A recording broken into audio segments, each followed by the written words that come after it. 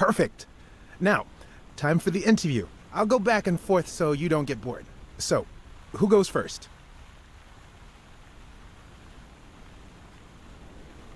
Here's one for both of you.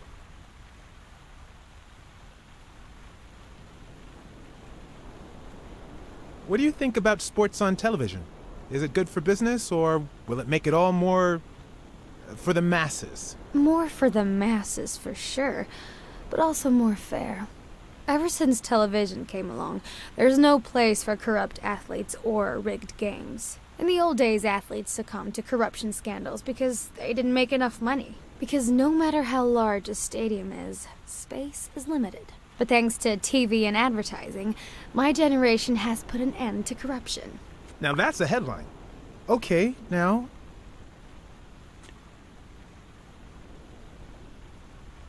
Here's one for Helen.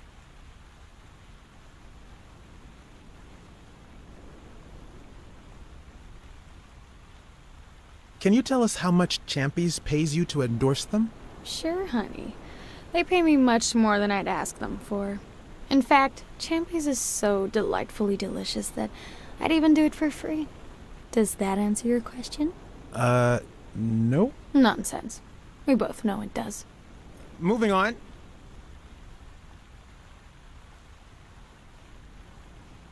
Time for a picture. How should we pose?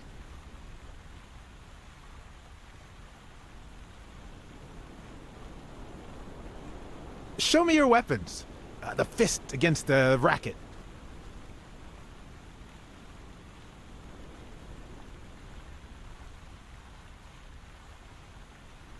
That's it. Perfect. Now what? Okay, Helen. Dating a boxer can be dangerous. Aren't you afraid that those blows to the head will take a toll on his intellectual capacity? Honey, take a look at my man and then look at yourself. You really think I'm with him because of his intellectual capacity? Helen! Write this down. Nothing will change my man. His smarts, manliness, and integrity are all boxing proof. Okay, one more question. And Al, honey, can you answer it? I've gotta go say hi to a fan. I'll be right back, Mr. Pulitzer. Wait. You mean she stopped smiling when that fan showed up? uh yeah. Could you describe him for me? I'll be able to show you something as soon as I'm done developing these pictures. And actually, I thought it was odd too. So while I continued to interview Stone, I managed to take some pictures of Moore and whoever her mysterious fan was.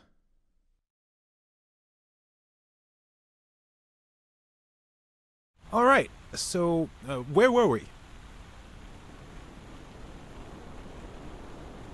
In just 12 days, the contender will try to steal your belt. Any thoughts on your fight against Yale? Well, supposedly the odds are in my favor, but there's no such thing as a weak rival. And, you know, Bobby Yale might be young and going through a rough patch, but he's had a, an amazing streak, so I'll do my best. Your manager is Frank Cassidy, president of the Boxing Managers Association of New York. According to him, only boxers working with member managers should be allowed to compete. What do you think about that? Cassidy is a great manager, really. No complaints there. And the work he's putting in as president of the association is really valuable. But, I don't know, maybe in this case, Joe Dunn was right. Wait, no. Could you keep that last comment uh, off the record? You know, on the down low. My lips are sealed. Are you ever jealous about sharing your sweetheart with America? Well, uh, I wouldn't say I'm jealous, but I know that someone so popular and honest can draw the wrong kind of attention. There are plenty of people who would love to put an end to her career, so it's not easy. Let's get that picture taken. Turn around and show me those biceps from behind. Like that? That's it. Wait, I, I accidentally moved. Stand still. I'll take another one. What's with me today? Don't move, please. Now we got it. Should we keep at it? I'm going to take one more, all right?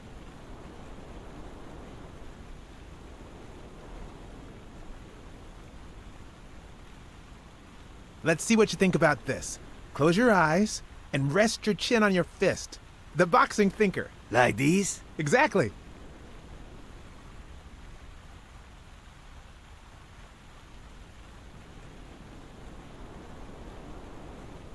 What's up with me? Stand still. I'll take it again. I can't seem to get it right. Don't move.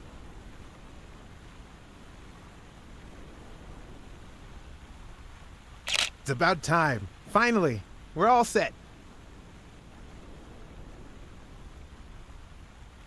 Wait. So, are you telling me the photos are developed? Or is that what you said to Stone? Both. Just look.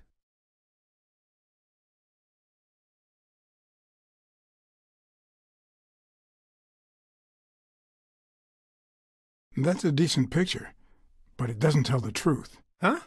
Of course it's the truth. I was there. Stone isn't as strong as he looks, and Moore certainly doesn't need him to lift her up. Look at his hand. Is he pulling something out of Moore's purse or putting it in?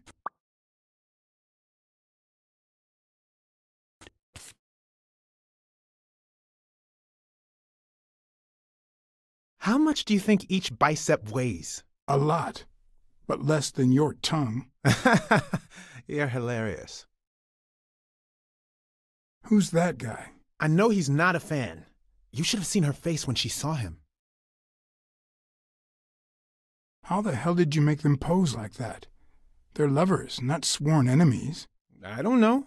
I was focused on my detective skills. The boxing thinker, the boxing poet. Boxing just might turn out to be the intellectual sport of choice. I think she only smokes when she's nervous. What was making her nervous? Hmm.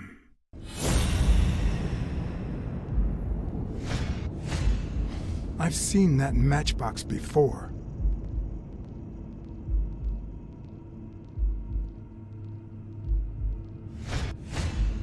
Wait, that's him. Who? Mitchell, the surgeon. Seriously? we got him. Not yet. Right.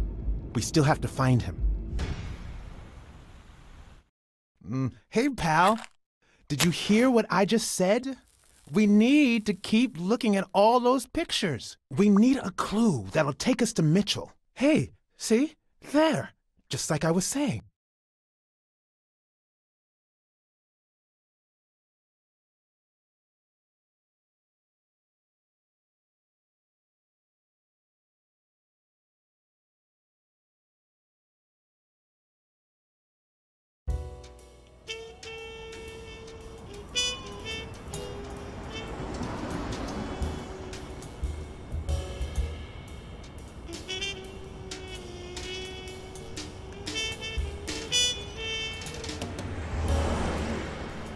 Brawls aren't even the worst part of my job. Sure, you may take a beating, but at least you get the chance to defend yourself. But when you're sitting in your car all night, there's no way out.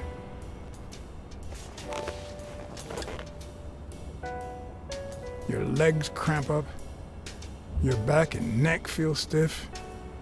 Your entire body aches to be somewhere else. It's boring and repetitive.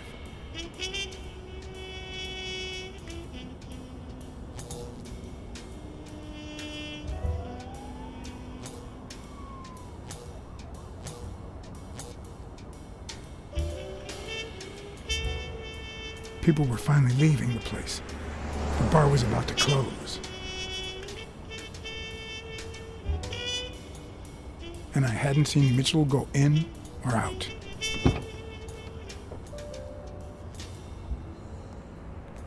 I had no choice.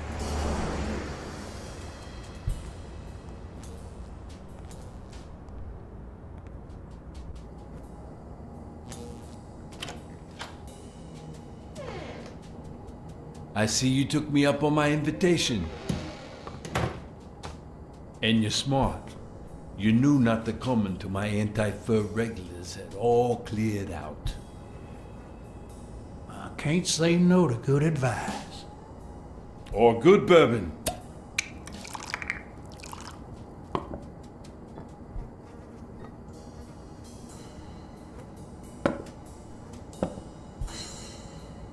Here's looking at you, Mr. Uh, what was your name? As far as I knew, La Iguana always stayed neutral. He played poker with Cassidy. But his joint was used as a gambling drop-off for O'Leary's operation. Did it make sense to keep faking it? Or was it too dangerous not to? Farnham. Howard M. Farnham II. That's right. Howard Farnham from Ding Dong, Texas.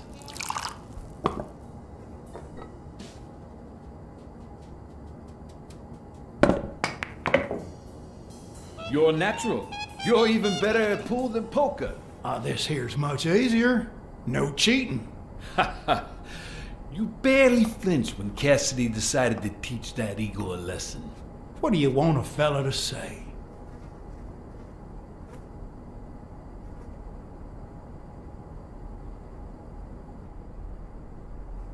Between you and me, partner, this ain't my first showdown. We all got our own lethal barber. Tell me, what do you really want with Cassidy? I can't say it's clear to me. Damn it. Well, nobody's perfect.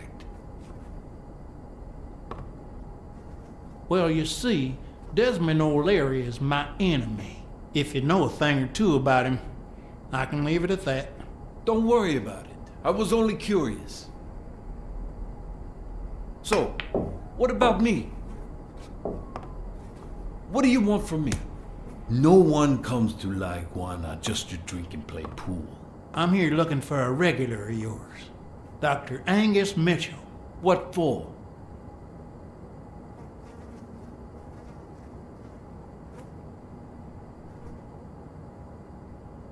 I know he's got his own sport business, and I think a partnership would be profitable for the both of us. Sure. Tell you what, I'll talk to Mitchell. Come back tomorrow night. You don't understand. I have to talk to him, or else. Or else what?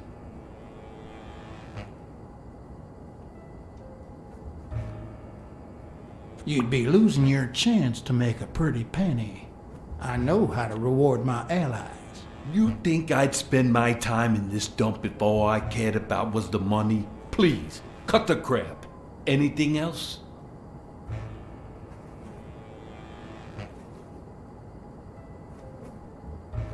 I don't think Cassidy would be too happy about the role this here dump plays in old O'Leary's gambling operation. You follow me? Son of a bitch. All right. Give me your phone number, and I'll give you a call when Mitchell shows up. No. You're gonna call him right now, and you're gonna give him this message. But when you're sitting in your car all night, there's no way out. Your legs cramp up, your back and neck feel stiff, your entire body aches to be somewhere else. It's boring and repetitive. It's so bad that your thoughts spiral in a never ending loop. Like when you're stuck in your car, on surveillance duty. The owner of La Iguana was supposed to tell Mitchell that a certain anteater was still alive, and that it was only a matter of time before he ratted him out. With a bit of luck, that would make him nervous enough to force his hand. Now all I had to do was follow him.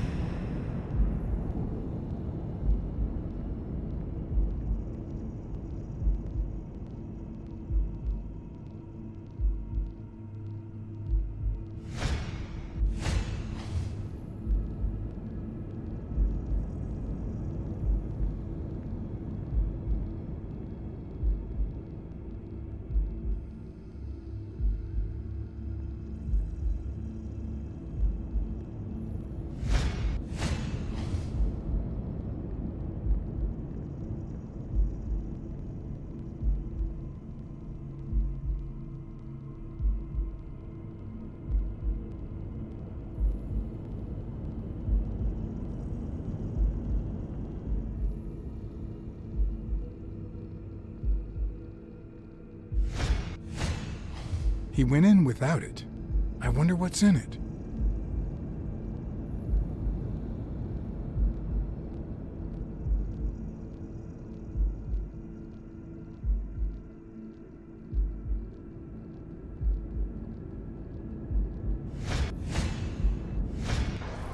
We'll be just fine, don't worry.